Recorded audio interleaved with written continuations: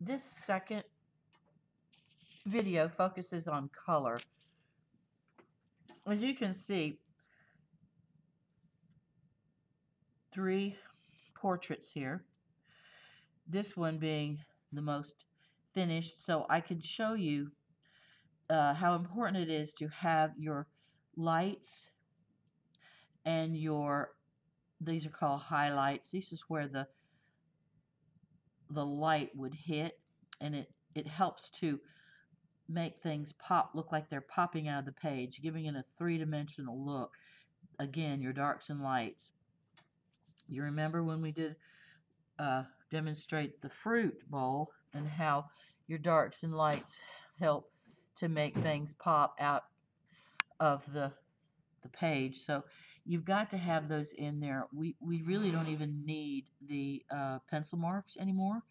We, if you want things to look realistic, we don't have pencil marks uh, around us. So it is the color that and the um, differences between the lights and the darks that bring out the edges of our portrait or anything we're drawing.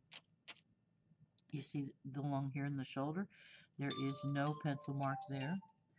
It's um, the color of her suit is creating the edge of that suit.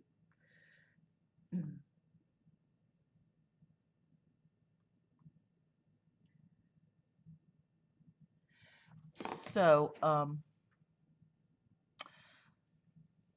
this is where I started to add the brown of her skin.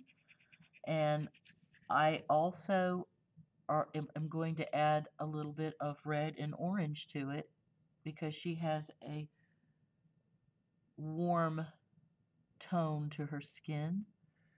And so I'm going to mix a little bit of color. I start out very, very light with this with this brown. And notice that I can put in her um, the wrinkles in her face with a little darker brown.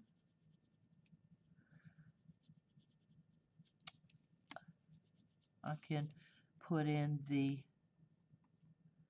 the little saggy area over here just by using a little darker brown there. And notice I'm going to get rid of the pencil lines the difference between the dark under on her neck and the light on her chin creates the edge of her chin. The dark uh, of her skin, the color of her skin, creates the edges of her face, not pencil. So we get rid of the pencil. I'm going to come back in and put a little bit of brown there. Okay, so I have taken my crayon and I've created a, a brown with a little bit of darks and lights shading. Down here where I have dark for the the neck area, I don't want to see a line here. You can see where I've created a dark and then a light. So to get rid of that, we want to blend those two colors in together. So I just kind of run my crayon very lightly over that edge or the, that where it's creating a line and that helps to get rid of that line there. Do you want that to be a smooth transition from dark to light? Up here, this is how we create the nose. You know, if you, these dark areas here, pull your eye into the picture, anything you want to make look going into space, going into the picture is going to be dark. Anything you want to pop out at you is going to be light. So we left a little light area on the lip. As you see right here, there's a light area on the lip. So I just went ahead and left that there. You don't put any color right there. I'm going to erase the lip line here and put that in with a brown.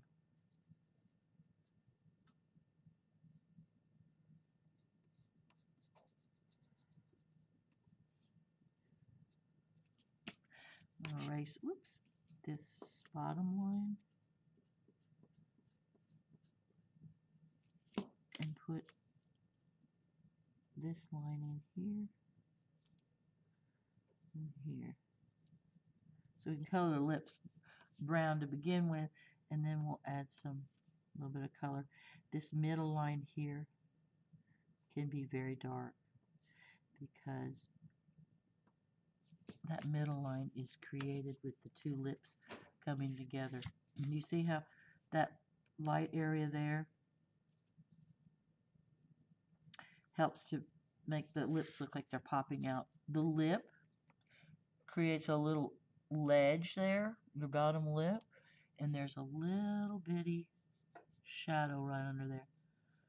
So put that little bitty shadow under that lip, and I'm not making it look real dark, just light enough. So I've got that. Now with that dark area there and that light there, that really helps that bottom lip poke out. Right in here is a little lighter, so let's not put any more crayon right there. That's a little lighter right in that area. Okay, I don't know if I can erase all these lines in the nose area. Try.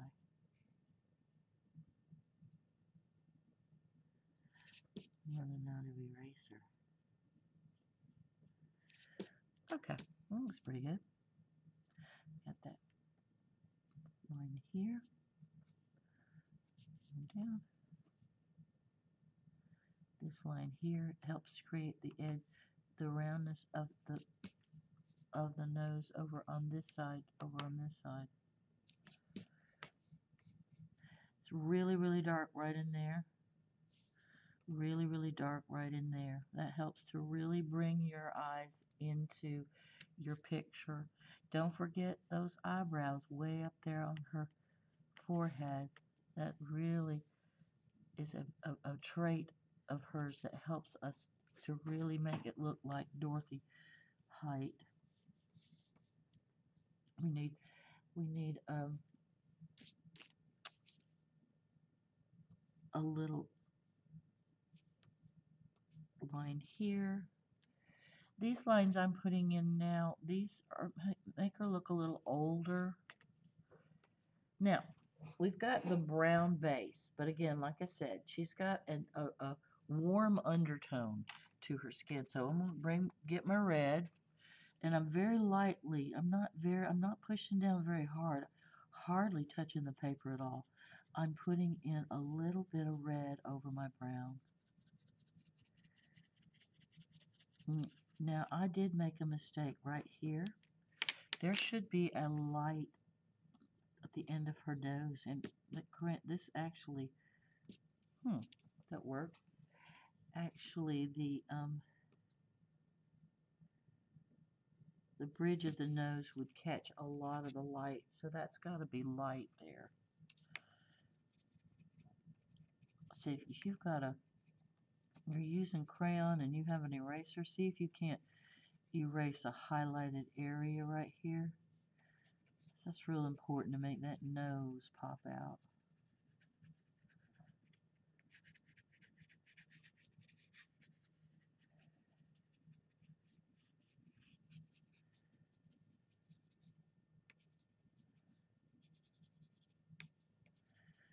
Okay, now I'm going to put in a little bit of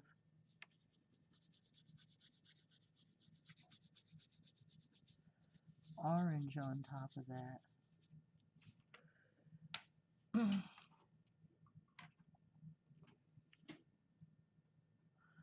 Very lightly.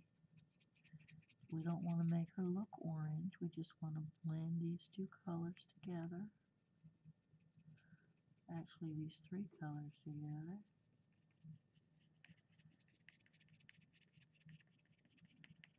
hardly touching this at all.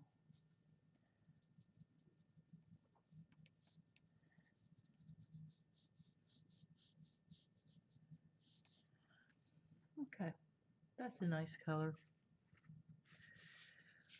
That's really pretty. It's a pretty brown. Okay. Um, I'm gonna go ahead, put in some curls over on this side of her and. I'm just making some wavy lines. I'm not trying, I'm not coloring it in all black. Just bringing some wavy lines for some curls. Now I'm going in and I'm going to put in some brown with that, mix some brown with that black so we can, makes it look like we can see the lines that the hair would make.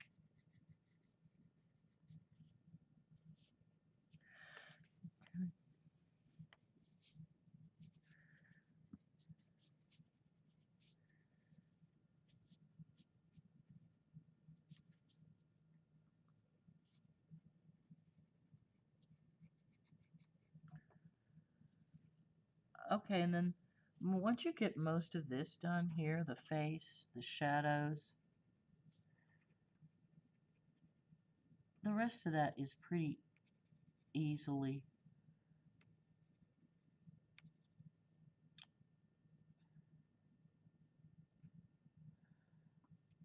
um,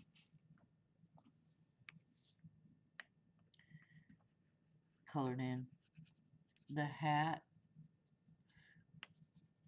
you want a really bright, vibrant color because she was known for wearing very bright hats.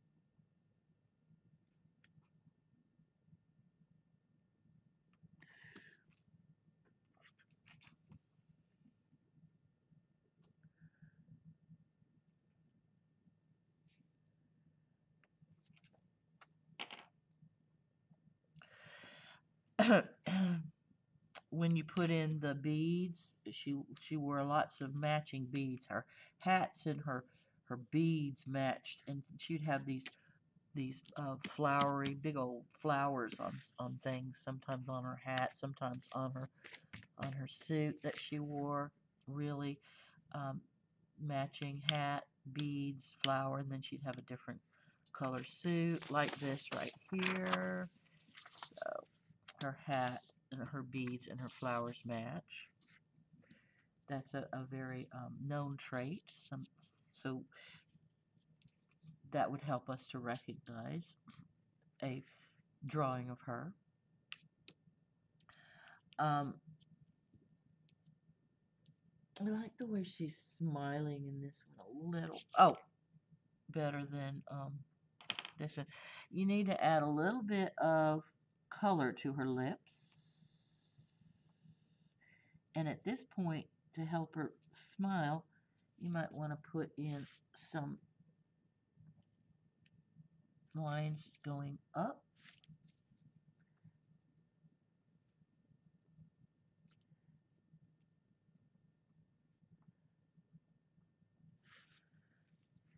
Uh, she's not really smiling much there, is she? That's all right.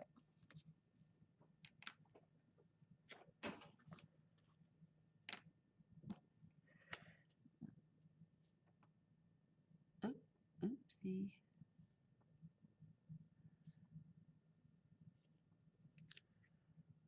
Oops.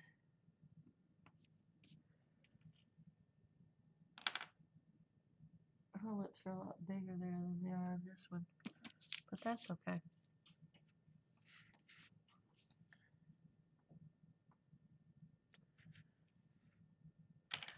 Okay.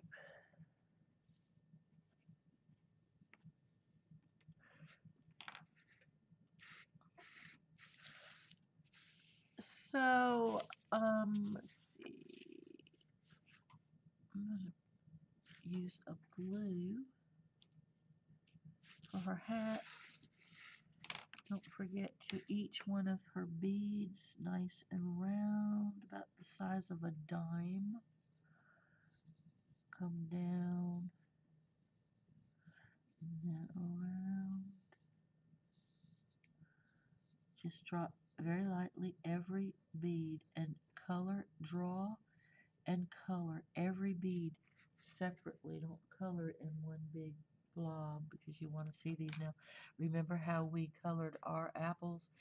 and our fruit, in our fruit basket, we had a dark, a dark side, and a light side, and a highlight. So we had the actual color of the bead, the highlighted area with no color, and then the dark side. And that helped those look very, very round.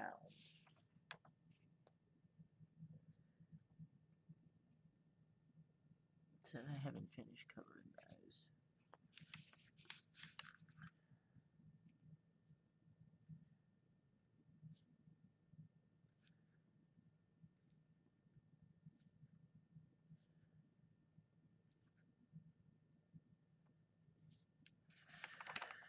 Okay. I think that's enough of an explan- explanation of adding color to your Dorothy Height portrait. I can't wait to see your pictures.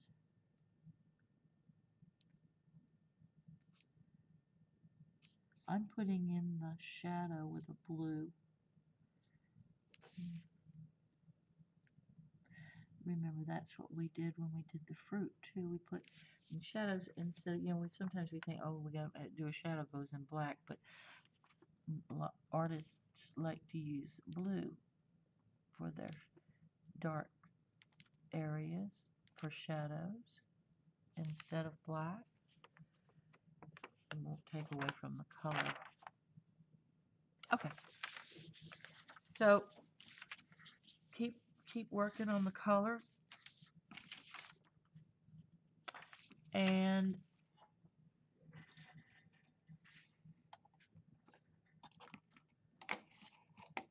and we'll come in and look at those later.